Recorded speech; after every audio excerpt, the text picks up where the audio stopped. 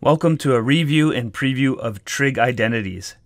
In grade 11, you proved the following trig identities. The Pythagorean identity, which is sine squared plus cos squared equals 1, which is also equal to cos squared theta equals 1 minus sine squared theta, if you isolate for cos squared, or sine squared theta is equal to 1 minus cos squared theta, if you isolate for sine squared. Next, we have the quotient identity, which is tan theta equals sine theta over cos theta. And finally, your reciprocal identities, which are secant, cosecant, and cotangent of theta. Note for cotangent, we can have it as cosine over sine, but it's also equal to 1 over tan theta. How do you prove identities? You try to make the more complicated side look like the less complicated side, in most cases. So different ways you can do that is using an identity, like the ones given above.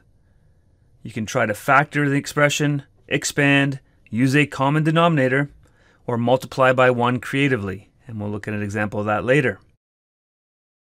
Finally, using any of those methods, always ensure you simplify your result, and if the two sides are not equal, try again. So let's prove the following identities starting with secant theta equals tan theta cosecant theta.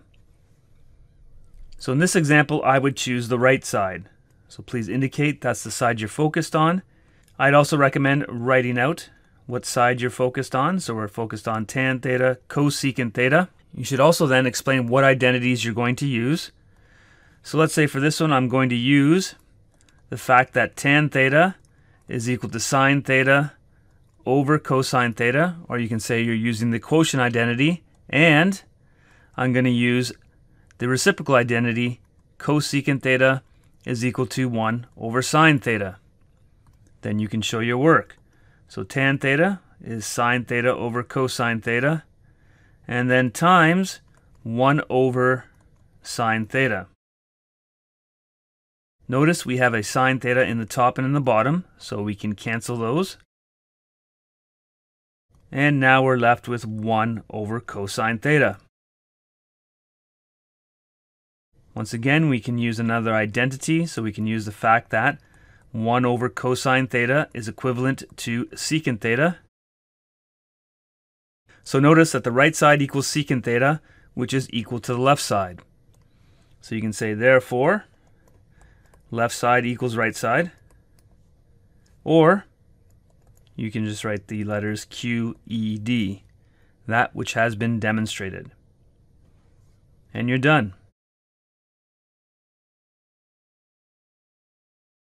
Let's try the next one. So this one, because I have a fraction on the left side, I'm going to start with the left side. So the left side is equal to sine squared theta minus sine theta over secant theta. So for this one, I'm going to start by using a reciprocal identity. I'm going to use the fact that secant theta is equal to 1 over cosine theta. So I get sine squared theta minus sine theta divided by 1 over cos theta. Here we're just going to multiply by the reciprocal. So I get sine squared theta minus sine theta cosine theta. I can now expand the right side, or we can stay to the left side and take out a common factor of sine theta, and I'm left with sine theta minus cosine theta. And notice that's equal to the right side. So now we're done. And I only needed one identity for this example. Let's go to the next example. Clearly the left side is more complex, so we can start there but you're more than welcome to also start from the right side. So I have sine theta times sine theta plus cos squared theta over sine theta. I don't need an identity to start this one, but I do need to find a common denominator. I'm going to multiply the first term sine theta by sine theta and divide it by sine theta. So that gives me sine theta times sine times sine is sine squared theta. And then we have the cos squared theta all over our denominator sine theta. First off, we can cancel the sine thetas. And secondly, we can now use an identity. We can use our Pythagorean identity. And that is that sine squared theta plus cos squared theta is equal to 1. That's this right here. So what are we left with? We're left with 1. And now we have proven the following identity. So let's look at ones that are a little bit more complex. So again, let's pick a side, and you should be able to solve from both sides. I would choose the left side for this example. Notice the right side only has sine theta, so I got to get everything in terms of sine. And the problem is we have a cos squared. But again, we can use the Pythagorean identity and the version where cos squared theta is equal to 1 minus sine squared theta. So now we have 1 minus sine squared theta over 1 plus sine theta. If we think of this in terms of quadratics, that is 1 minus x squared over 1 plus x if we replace the sine theta by x. The numerator is a difference of squares, 1 minus x and 1 plus x all over 1 plus x. And notice we're going to get to 1 minus x, which is our goal, 1 minus sine. So all we need to do is to finish this. So 1 minus sine squared is 1 minus sine theta times 1 plus sine theta using our difference of squares formula over 1 plus sine theta. We can now cancel the following factors and we're left with 1 minus sine theta which is equivalent to the right side. Next one. Again, in this one, I would choose the left side to start. So that's 1 plus cosecant theta. Let's use an identity. So we're going to use the fact that cosecant theta is equal to 1 over sine theta, or you can just state that you're using a reciprocal identity.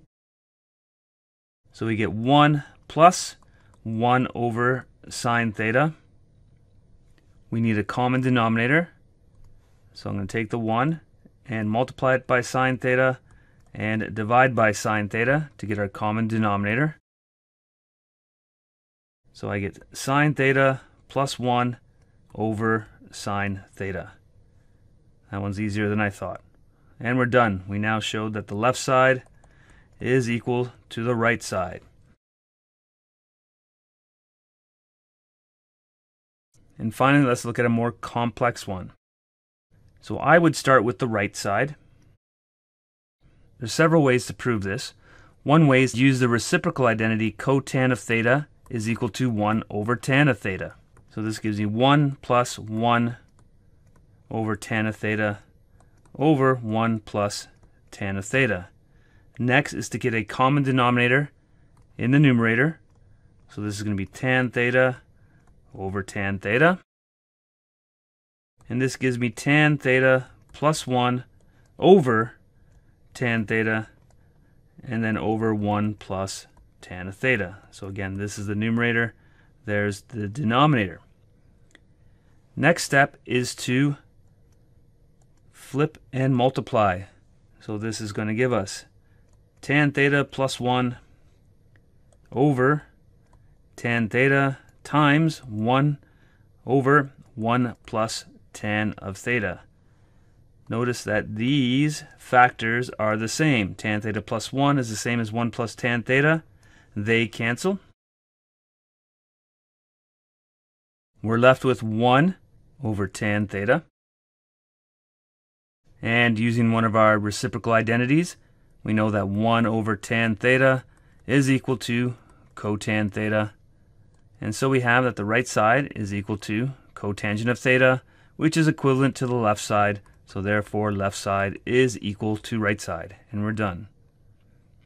Just a reminder, there's multiple ways to do this. We can convert it everything to sine and cos, or we could have taken the tan theta and converted it to 1 over cotan, which might have reduced this by a couple lines. So there are many approaches, but you always know what answer you're looking for in the end. And final example. Prove that sine theta equals tan theta plus cos squared theta is not an identity. So remember, an identity is an equation that is true for all values of the variable. So how can you prove an equation is not an identity? Take a value, sub it in, and prove that the left side does not equal the right side. So for example, let's take that theta is equal to pi over 4.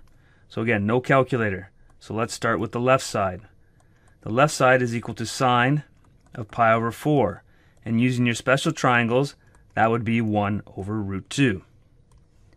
Now let's go to the right side. Using that same angle, I get tan of pi over 4 plus cosine of pi over 4 all squared.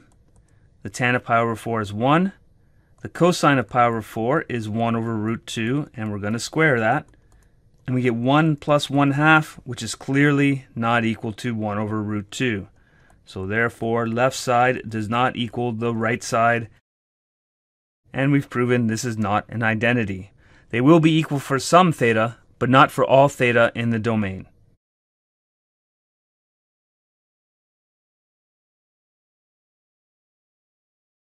Here are the questions I recommend you try.